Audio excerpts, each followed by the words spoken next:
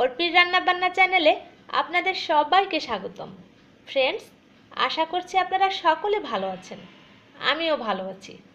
আজ আমি হাজির হয়েছি খুব জনপ্রিয় একটি আইটেম নিয়ে, যেটার নাম হলো চিকেন পিৎজা আমি আজকে দেখাবো খুব সহজভাবে কীভাবে আমি ঘরে এই চিকেন পিৎজাটি তৈরি করি, যেটা নতুন রাঁধুনিদের খুব কাজে আসবে। তো চলুন বন্ধুরা, চলে যাই পরবর্তী পর্যায়ে আমি প্রথমে পিৎজার ডো তৈরি করে নেব। একটি বলে আমি দিয়ে দিব দেড় কাপ ময়দা। প্রথমে আমি দিয়ে দিচ্ছি এক কাপ ময়দা এবং হাফ কাপ ময়দা। এর মধ্যে দিয়ে দিলাম এক টেবিল চামচ চিনি। ইস্ট দিলাম এক চা চামচ। দিয়ে দিলাম পরিমাণ মতো লবণ। দিয়ে দিচ্ছি এক চা চামচ রসুন বাটা।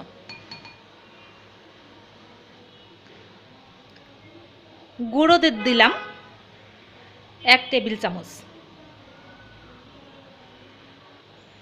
এখন আমি সবগুলো উপকরণ ভালো করে মিশিয়ে নিচ্ছি।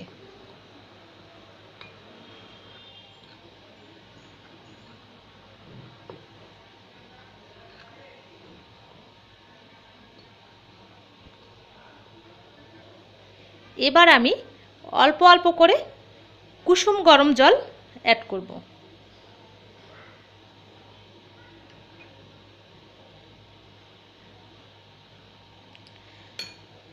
জলটা কিন্তু বুঝে দিতে হবে। বেশি জল একবারে দিয়ে দেওয়া যাবে না। তাহলে ডোটা পাতলা হয়ে যাবে।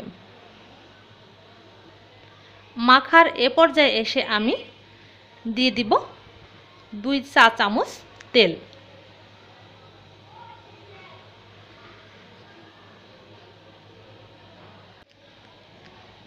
ডোটি আমি খুব ভালো করে মেখে, ডোয়ের উপরে তেল মেখে এখন আমি এই ডোটিকে একটি গরম জায়গাতে রেখে দিব, ঠিক এক ঘণ্টার জন্য।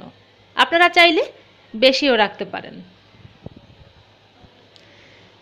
যেহেতু আমি চিকেন পিজা করছি, তাই আমি চিকেনটাকে প্রসেসিং করে নিচ্ছি।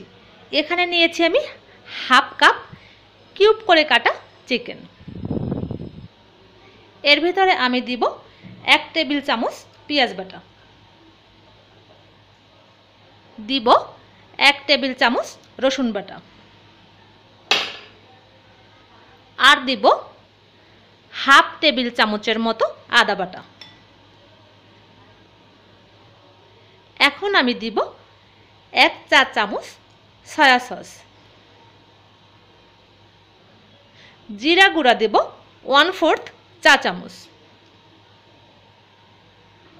ধনিয়া গুঁড়া দিব ওয়ান ফোর্থ চা চামচ। সবগুলো উপকরণ একটু ভালো করে মিশিয়ে নিচ্ছি।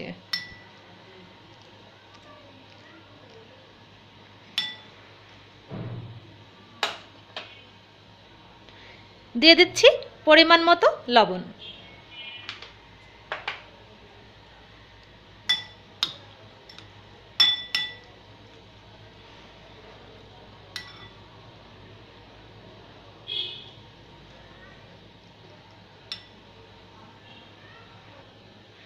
ব্যাস মাখিয়ে নিলাম। এখন আমি এটাকে একটু হালকা করে ফ্রাই করে আনব। আমি চিকেনটা ফ্রাই করতে চলে এসেছি। চুলে একটি প্যান দিয়েছি। এখন আমি দিব অল্প পরিমাণে তেল।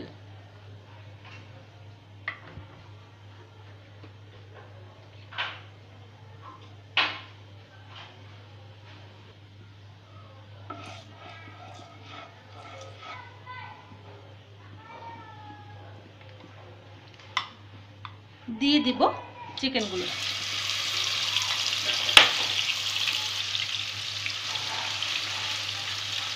চিকেনগুলো ছোট ছোট করে কাটা, তাই ভাজতে সময় লাগবে না।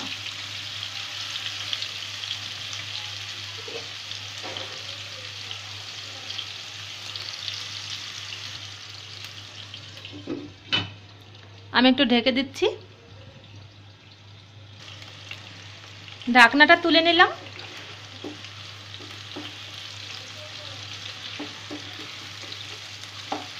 চার মিনিট ধরে রান্না করলে এটা হয়ে যাবে।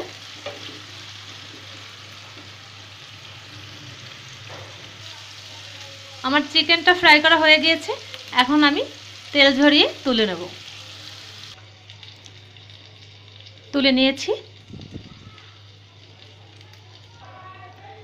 এখন আমি চলে যাব পিজার টপিকটা তৈরি করে নেওয়ার জন্য।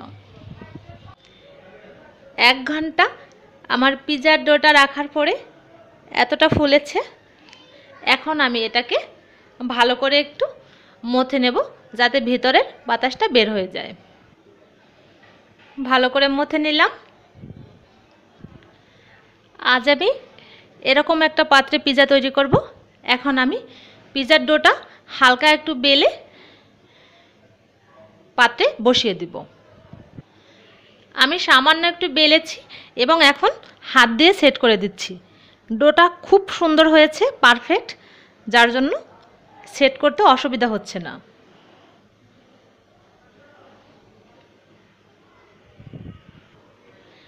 সুন্দর করে বসিয়ে দিলাম। এখন আমি এর উপরে দিয়ে দিব আমার ঘরে তৈরি করা সস, টমেটো সস।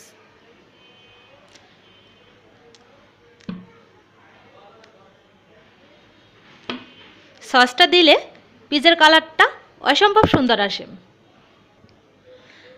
সসের প্রলেপটা দিয়ে দিলাম। এখন আমি পিজার টপিকটা সাজিয়ে নিব। প্রথমে আমি দিয়ে দিব মোজারেলা চিজ।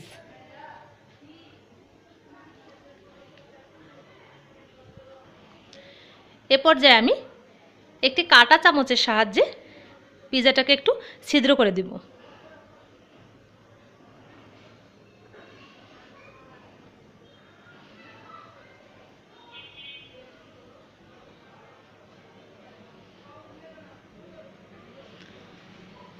তাহলে বেগটা পারফেক্ট হবে।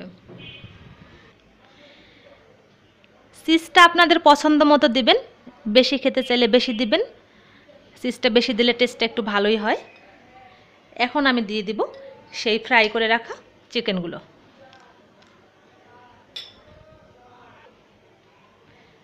চিকেনগুলো দেওয়ার পরে এবার আমি আবার উপর থেকে চিজ দিয়ে দিব।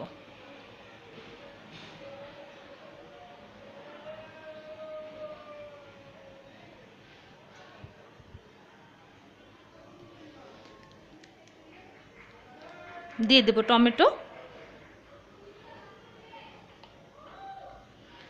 আর দিয়ে দেব অনিয়ন রিং।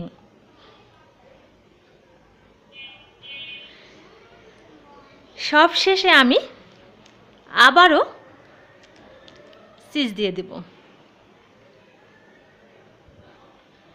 ব্যাস, পিজার টপিকটা আমার সাজানো কমপ্লিট। এবার আমি এটাকে বেক করব। সেমভাবে তৈরি করে আপনারা চুলায়ও বেক করতে পারবেন। হালকা আছে। আমি আজকে ওভেনে তৈরি করব। ওভেনে আমি বিশ থেকে পঁচিশ মিনিট একশো পঞ্চাশ ডিগ্রি তাপমাত্রায় তৈরি করে নিব। দেখুন ফ্রেন্ডস আমার তৈরি পিজাটা আমি ওভেন থেকে বের করে নিয়েছি। এটা দেখতেও সুন্দর হয়েছে, খেতেও কিন্তু জাস্ট অসাধারণ। বাসায় তৈরি করা যে কোনো খাবারের টেস্টই আলাদা। আপনারা যদি আমার এই রেসিপিটি ফলো করে পিজা তৈরি করেন, আপনারা আর রেস্টুরেন্টে গিয়ে পিজা খেতে চাইবেন না। আসলে বাসায় তৈরি সব কিছুর স্বাদই অন্যরকম। আমার এই আজকের পিজার রেসিপিটি যদি আপনাদের ভালো লেগে থাকে, অবশ্যই একটি লাইক কমেন্ট এবং আমার এই রেসিপিটি বেশি বেশি করে বন্ধুদের সাথে শেয়ার করবেন এবং আমার চ্যানেলটি সাবস্ক্রাইব করে অবশ্যই আমার পাশে থাকবেন। সকলকে ধন্যবাদ জানিয়ে আজকের মতো বিদায় নিচ্ছি।